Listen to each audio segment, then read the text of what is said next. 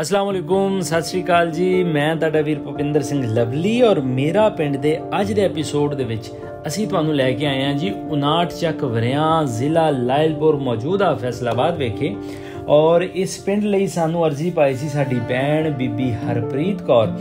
ਸਪਤਨੀ ਸਰਦਾਰ ਬਲਹਾਰ ਸਿੰਘ ਪੰਨੂ ਹੋਰਾਂ ਨੇ ਔਰ ਕਿਉਂਕਿ ਉਹਨਾਂ ਦੇ ਵੱਡ ਵਡੇਰੇ ਸਰਦਾਰ ਮੁਖਤਾਰ ਸਿੰਘ ਸੰਧੂ ਅਤੇ ਸਰਦਾਰ ਇੰਦਰ ਸਿੰਘ ਸੰਧੂ ਇਸੇ ਹੀ ਪਿੰਡ ਤੋਂ 1947 ਵਿੱਚ ਉਹਨਾਂ ਨੇ ਹਿਜਰਤ ਕਰਨੀ ਪਈ।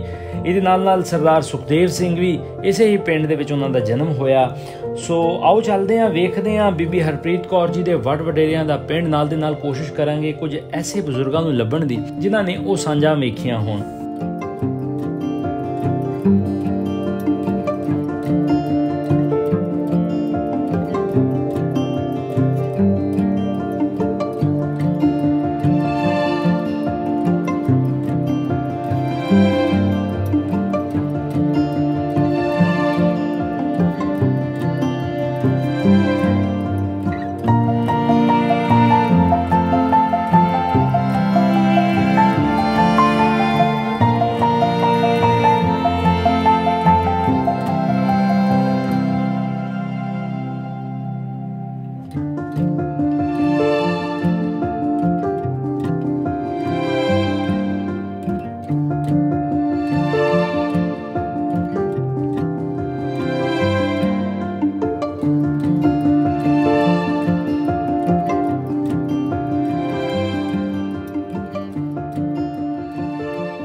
ਬਾਬਾ ਜੀ ਕੀ ਹਾਲ ਚਾਲ ਜੇ? ਠੀਕ ਹੋ? ਬਾਬਾ ਜੀ ਨਾਂ ਕੀ ਤੁਹਾਡਾ? ਨਜ਼ੀਰ। ਨਜ਼ੀਰ। ਵਾਲਦ ਸਾਹਿਬ ਦਾ ਕੀ ਨਾਂ ਸੀ? ਜਮਾਲਦੀਨ। ਜਮਾਲਦੀਨ। ਤੇ ਦਾਦਾ ਜੀ ਦਾ ਨਾਮ ਚੇਤੇ ਆ? ਦਾਦੇ ਦਾ? ਆਹੋ। ਉਹਦੇ ਨਾਂ ਸੀ ਹੀਰਾ। ਹੀਰਾ। ਆਪਾਂ ਜਿਹੜੇ ਪਿੰਡ ਬੈਠੇ ਆ ਇਹ ਪਿੰਡ ਦਾ ਕੀ ਨਾਂ ਜੀ? ਇਹ ਅਨਾਰ ਚੱਕ ਵੜਿਆ। 59 ਚੱਕ ਵਰਿਆ ਅੱਛਾ ਤੇ ਇਹਦੇ ਲਾਗੇ ਕਿਹੜੇ ਕਿਹੜੇ ਪਿੰਡ ਆ? ਇਹਦੇ ਲਾਗੇ ਪਿੰਡ ਕਹਿੰਬਾ ਵੀ ਆ। ਹੂੰ। ਰਤਾ ਜੋਆ ਵੀ ਆ ਗ- ਅੱਛਾ। ਗੰਡੀ ਪਿੰਡ ਵੀ ਆ। ਅੱਛਾ। ਹਾਂਜੀ ਚਕੇਰੀਆਂ ਮੋਗੀ। ਹੂੰ। ਇਹ ਪੰਜ ਸੱਤ ਪਿੰਡ ਲਾਗੋ ਲਾਗੀ ਆ। ਅੱਛਾ। ਅੱਛਾ ਬਜ਼ੁਰਗੋ ਕਮਾਲ ਚੱਕ ਦੱਸਿਆ ਤੁਸੀਂ ਇੱਥੋਂ ਦੇ ਵਸਿੰਦੇ ਹੋ ਕਿ ਉਧਰੋਂ ਆਏ ਹੋ? ਨਹੀਂ ਇੱਥੋਂ ਦੇ ਵਸਿੰਦੇ। ਵਸਿੰਦੇ ਹੋ। ਨੰਬਰਦਾਰ ਇੱਥੇ ਕੌਣ ਸੀ। ਹਰਨਾਮ ਸਿੰਘ? ਹਾਂਜੀ। ਅੱਛਾ। ਤੇ ਹੋਰ ਇਸ ਤੋਂ ਇਲਾਵਾ? ਨਾਮ ਸਿੰਘ ਵੀ ਸੀ ਤੇ ਆਪਣਾ ਬੋਸੋਂ ਵੀ ਸੀ। ਅੱਛਾ। ਮੰਗਲ ਸੋਂ ਵੀ ਸੀ। ਅੱਛਾ ਬਜ਼ੁਰਗੋ ਪਿੰਡ ਦੇ ਵਿੱਚ ਕਿੰਨੇ ਕੁ ਘਰ ਸਿੱਖਾਂ ਦੇ ਸੀ ਤੇ ਬਾਕੀ ਕੌਣ ਕੌਣ ਰਹਿੰਦੇ ਸੀ? ਪੰਜ ਸੱਤ ਘਰ ਸੀ ਮੁਸਲਮਾਨਾਂ ਦੇ। ਅੱਛਾ। ਬਾਕੀ ਚੂੜੇ ਸੀ ਤੇ ਸਿੱਖ ਸੀ। ਅੱਛਾ। ਹਾਂ। ਠੀਕ। ਉਹਨਾਂ ਨਾਲ ਵਸੇਬ ਕਿਦਾਂ ਦਾ ਸੀ? ਰਹਿਣ ਸਹਿਣ ਕਿਦਾਂ ਦਾ ਸੀ? ਰਹਿਣ ਚੰਗਾ ਸੀ ਉਹਨਾਂ ਦਾ। ਚੰਗਾ ਸੀ। ਮਾੜੇ ਦੇ ਸਿਰ ਤੇ ਹੱਥ ਰੱਖਦੇ ਸੀ ਜਾਂ ਬਿਲਕੁਲ ਖਿਆਲ ਕਰਦੇ ਬਹੁਤ ਸੀ ਨਿਗਾਹ ਕਰਦੇ ਸੀ। ਅੱਛਾ। ਉਹਦੇ ਨੇ ਨਿਗਾਹ ਕਰਦੇ ਕਦੀ 47 ਤੋਂ ਪਹਿਲੇ ਇਦਾਂ ਤੇ ਨਹੀਂ ਹੋਇਆ ਕਿਉਂਕਿ ਸਿੱਖ ਤਗੜੇ ਸੀ ਜਾਂ ਜ਼ਮੀਨਾਂ ਉਹਨਾਂ ਦੀਆਂ ਸੀਗੀਆਂ। ਕੋਈ ਤੁਹਾਨੂੰ ਮਾੜਾ ਚੰਗਾ ਤੇ ਨਹੀਂ ਆਖਦੇ ਸੀਗੇ? ਨਾ ਨਾ ਕੋਈ ਨਹੀਂ। ਕੋਈ ਨਹੀਂ ਆਖਦੇ ਸੀ। ਅੱਛਾ। ਬੜੇ ਸਲੂਕ ਨਾਲ ਵਸਦੇ ਸੀ। ਸਲੂਕ ਨਾਲ ਵਸਦੇ ਸੀ। ਹਾਂਜੀ। ਸਹੀ ਹੋ ਗਿਆ। ਅੱਛਾ ਬਜ਼ੁਰਗੋ ਮੈਂ ਤੁਹਾਨੂੰ ਇੱਕ ਵੀਡੀਓ ਸੁਣਾਣਾ ਇਹਦੇ 'ਚ ਕੁਝ ਨਾਮ ਲੈਂਦੇ ਆ। ਇਹ ਵੀਡੀਓ ਵੀ ਸੁਣੋ ਤੇ ਇਹ ਨਾਮਾਂ ਬਾਰੇ ਵੀ ਦੱਸੋ ਕਿ ਇਹ ਬੰਦੇ ਜਿੰਦੇ ਆ ਹੁਣ ਜਾਂ ਨਹੀਂ ਜਿੰਦੇ। ਮੇਰਾ ਪਿੰਡ ਵੜਿਆ ਲਾਗੇ ਪਿੰਡ ਕੈਂਬਾ। ਮੈਂ ਸਰਦਾਰ ਇੰਦਰ ਸਿੰਘ ਦਾ ਪੁੱਤਰ ਸਰਦਾਰ ਵਿਰਿਆਮ ਸਿੰਘ ਦਾ ਪੋਤਰਾ। ਤੇ ਕੈਂਬਾ ਦੇ ਵਿੱਚ ਰਾਮੂ ਜੰਗਲੀ ਮੇਰੇ ਪਿਤਾ ਜੀ ਦਾ ਪੱਗਵੱਟ ਭਰਾ ਬੜਿਆ ਸੀ। ਤੇ ਮੈਂ ਉਹਨਾਂ ਨੂੰ ਸਾਰਿਆਂ ਨੂੰ ਜਾਣਦਾ, ਮੇਰੀ ਉਮਰ ਉਸ ਵੇਲੇ ਬਹੁਤ ਛੋਟੀ ਸੀ। ਪਿੰਡ ਦੇ ਵਿੱਚ ਸਾਡੇ ਦੇ, ਅਸੀਂ ਸਾਰੇ ਇੱਕੇ ਪਿੰਡ ਦੇ ਵਰਿਆਈਏ ਸਾ, ਸੰਧੂ। ਹੋਰ ਸਾਡੇ ਪਿੰਡ ਵਿੱਚ ਮੁਸਲਮਾਨ ਕੋਈ ਜ਼ਮੀਨ ਦਾ ਲਾਟੀ ਨਹੀਂ ਸੀ। ਕੰਮੀਆਂ ਦੇ ਦੋ ਤਿੰਨ ਘਰ ਸੀ।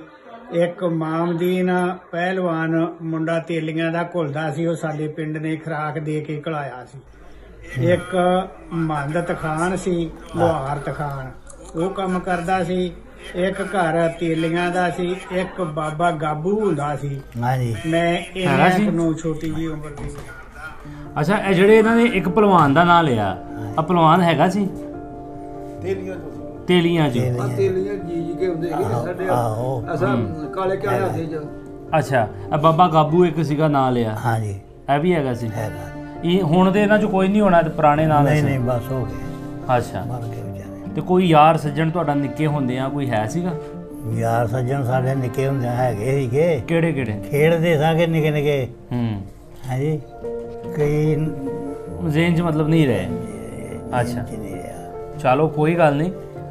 ਤੇ ਜਦੋਂ ਇੱਥੋਂ ਉੱਠੇ ਨੇ ਇੱਥੋਂ ਜਦੋਂ ਗਏ ਨੇ ਉਸ ਟਾਈਮ ਪਿੰਡ ਦਾ ਕੀ ਮਾਹੌਲ ਸੀ? ਉਹ ਹਸੀ ਖੁਸ਼ੀ ਉੱਠੇ ਕੋਈ ਹਮਲਾ ਹੋਇਆ ਨਾ ਕੋਈ ਨਹੀਂ ਕੋਈ ਨਹੀਂ ਹੋਇਆ। ਅੱਛਾ ਹਮਲਾ ਨਹੀਂ ਹੋਇਆ। ਫਿਰ ਕਿਉਂ ਉੱਠੇ ਇੱਥੋਂ? ਆਰਡਰ ਜੂ ਸੀ। ਅੱਛਾ ਆਰਡਰ ਆ ਗਿਆ ਸੀ। ਐਲਾਨ ਹੋ ਗਿਆ ਸੀ। ਤੁਹਾਨੂੰ ਮਿਲ ਕੇ ਗਏ ਫਿਰ ਮਿਲ ਕੇ ਗਏ ਆਗੇ। ਅੱਛਾ। ਮੈਨੂੰ ਤੇ ਲੈ ਗਿਆ ਇਹ ਸਿੱਖ ਕਈਮਾ ਲਾ ਕੇ ਮੈਨੂੰ ਤਾਂ ਲੈ ਲਿਆਏ ਸੀ ਮੋੜ ਕੇ। ਉਹ ਕਿਉਂ? ਕਿਉਂ? ਉਹ ਉਹ- ਉਹਨਾਂ ਦਾ ਬੱਚਾ ਕੋਈ ਨਹੀਂ ਸੀ। ਅੱਛਾ। ਕੌਣ ਕੌਣ ਲੈ ਕੇ ਕੌਣ ਗਿਆ? ਸਿੱਖ। ਸਿੱਖਾਂ 'ਚ ਕੀ ਨਾਂ ਕੀ ਸੀ ਉਹਨਾਂ ਦਾ? ਮੰਗਲ ਤੋਂ ਮੰਗਲ ਸਿੰਘ ਦਾ ਉਹ ਜੀ ਤੁਸੀਂ ਨਾਂ ਦੱਸਦੇ ਨਹੀਂ ਅੱਛਾ। ਕਿ- ਕਿਹੜੀ ਜਗ੍ਹਾ ਤੱਕ ਨਾਲ ਲੈ ਗਏ ਸੀ ਤੁਹਾਨੂੰ? ਕਈ ਕਈਮਾ ਤੱਕ। ਅਕੇਂਬਾ ਤਰੇਟ ਹਾਂ। ਅੱਛਾ। ਉਹ ਮੰਗਲ ਸਿੰਘ ਦਾ ਤੁਹਾਡੇ ਨਾਲ ਬਹੁਤਾ ਪਿਆਰ ਸੀ? ਬਹੁਤਾ ਉਹਦੇ ਘਰ 'ਚ ਹੀ ਅਸੀਂ ਰਹਿੰਦੇ ਸਾਂਗੇ। ਉਹਦਾ ਘਰ ਕਿਹੜਾ ਸੀ ਉਦੋਂ? ਅੱਛਾ। ਆਵੇ ਜਿੱਥੇ ਹੋਣੇ ਆ ਮੈਂ। ਅੱਛਾ ਪਿੰਡ ਦੇ ਵਿੱਚ ਗੁਰਦੁਆਰਾ ਕਿੱਥੇ ਸੀਗਾ? ਖੂਹ ਵਾਲੇ ਚੌਂਕ 'ਚ। ਖੂਹ ਵਾਲੇ ਚੌਕ 'ਚ ਖੂਹ ਵੀ ਹੈਗਾ ਸੀ। ਠੀਕ ਹੋ ਗਿਆ। ਤੇ ਜਦੋਂ ਇੱਥੋਂ ਗਏ ਆ ਕਿਦਾਂ ਦਾ ਪਿੰਡ ਦਾ ਮਾਹੌਲ ਸੀ? ਸਾਰਾ ਸਮਾਨ ਲੈ ਗਏ ਜਾਂ ਫਿਰ ਨਹੀਂ ਮੋਟਾ ਮੋਟਾ ਲੈ ਕੇ ਵਿਚਾਰੇ ਅੱਛਾ। ਜਿੰਨਾ ਗਿਆ। ਹਾਂ। ਤੇ ਬਾਕੀ ਲੁੱਟ ਪੁੱਟ ਗਏ। ਅੱਛਾ। ਜੰਗਲੀ ਲੈ ਗਏ।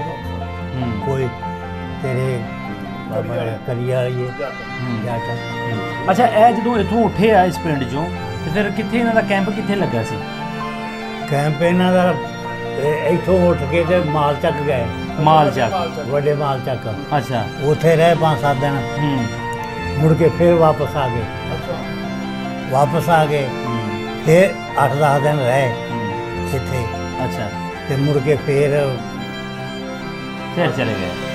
ਆ ਲੋਕੇ। ਬੈਠੇ। ਲੋਕਿਆਂ 'ਚ।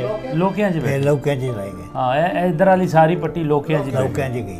ਤੇ ਬਜ਼ੁਰਗੋ ਹੁਣ ਜੇ ਉਹਨਾਂ ਨੇ ਆਣਾ ਹੋਵੇ ਆ ਜਿਹੜੀ ਤੁਹਾਨੂੰ ਵੀਡੀਓ ਸੁਣਾਈ ਆ ਜੇ ਇਹਨਾਂ ਨੇ ਆਣਾ ਹੋਵੇ ਤੇ ਪਿੰਡ ਵੱਲੋਂ ਕੀ ਸੁਨੇਹਾ ਦੇਣਾ ਤੁਸੀਂ ਭਾਈ ਸਾਹਿਬ? ਆ ਜਾਣ ਉਹਨਾਂ ਜੀ ਆਇਆਂ ਨੂੰ ਆਖੋਗੇ। ਬਿਸਮਿਲ੍ਲਾ ਹੁਣ ਆਪਣੇ ਅੱਛਾ। ਖੁੱਲੇ ਸਦਕੇ ਖੁੱਲੇ ਫਿਰਨਾ ਅੱਛਾ। ਆਹੋ। ਤੁਸੀਂ ਪਿੰਡ ਦੇ ਇੱਥੋਂ ਦੇ ਵੱਡੇ ਹੋ। ਤੁਹਾਡੇ ਵੱਲੋਂ ਕੀ ਸੁਨੇਹਾ ਕਰੋ ਆਣਾ ਚਾਹਣ ਤੇ ਮੈਂ ਕਹਿੰਦਾ ਜੀ ਅਸੀਂ ਤੇ ਇਹ ਕਹਿੰਦੇ ਆ ਵੀ ਇਹ ਜਿਵੇਂ ਅਸੀਂ ਪਾਟੇ ਸੀ ਨਾ ਦੋ। ਦੀਵਾਰ ਸਾਡੀ ਬਣ ਗਈ ਹਾਂ ਹਾਂ ਇੱਕ ਦੀਵਾਰਾਂ ਖਤਮ ਹੋਣੀਆਂ ਚਾਹੀਦੀਆਂ ਅੱਛਾ ਸਾਨੂੰ ਮਿਲਣਾ ਚਾਹੀਦਾ। ਮਿਲਣਾ ਚਾਹੀਦਾ ਸਾਡੀਆਂ ਬਹੁਤ ਸਾਰੀਆਂ ਸਾਂਝਾਂ ਸੀ ਆਪਣੀਆਂ। ਸਾਡਾ ਮਤਲਬ ਬਹੁਤ ਸਾਰੀਆਂ ਸਾਡੀਆਂ ਸਾਂਝਾਂ ਸੀ ਸਾਡੀ ਬਹੁਤ ਸਾਰਾ ਸਾਡਾ ਮਾਜ਼ੀ ਇਕੱਠਾ ਸੀ। ਉਹਨਾਂ ਲੋਕਾਂ ਦਾ। ਇਹ ਖੁੱਲਣੀਆਂ ਚਾਹੀਦੀਆਂ ਦੀਵਾਰਾਂ ਹੂੰ। ਸਾਨੂੰ ਮਿਲਣਾ ਚਾਹੀਦਾ ਇੱਕ ਦੂਸਰੇ ਨੂੰ ਬਿਲਕੁਲ ਬਿਲਕੁਲ ਇਹ ਯਾਦਾਂ ਕਿਹੜੀਆਂ ਨੇ ਇਹ ਬਜ਼ੁਰਗ ਹੋ ਗਏ ਨੇ ਇੰਨੀ ਉਹਨਾਂ ਦੀ ਉਮਰ ਨਹੀਂ ਸਕੇ ਅੱਜ ਤੱਕ। ਹਾਂ। ਸਾਡੇ ਕਿਹੜੇ ਬਜ਼ੁਰਗ ਸੀ ਇੰਡੀਆ ਨੂੰ ਨਹੀਂ ਭੁੱਲ ਸਕੇ ਹਾਂ। ਹੁਣ ਤੁਹਾਡਾ ਕੀ ਨੂੰ- ਨਾਂ ਜੀ? ਮੇਰਾ ਨਾਮ ਜਾਗੀਰ ਖਾਨ ਜਾਗੀਰ ਖਾਨ। ਜਾਗੀਰ ਖਾਨ। ਤੇ ਤੁਹਾਡੇ ਵਾਲਦ ਸਾਹਿਬ ਦਾ ਕੀ ਨਾਂ ਜੀ? ਮੇਰੇ ਵਾਲਦ ਸਾਹਿਬ ਦਾ ਨਾਮ ਸੀ ਦਿਲਦਾਰ ਖਾਨ। ਜ਼ਰਦਾਰ ਖਾਨ। ਤੁਸੀਂ ਦਿਲਦਾਰ ਖਾਨ। ਅਸੀਂ ਮਾਈਗ੍ਰੇਟ ਹੈ ਮਿਆਣੀ ਭੱਗੂਪੁਰੀਆਂ ਤੋਂ।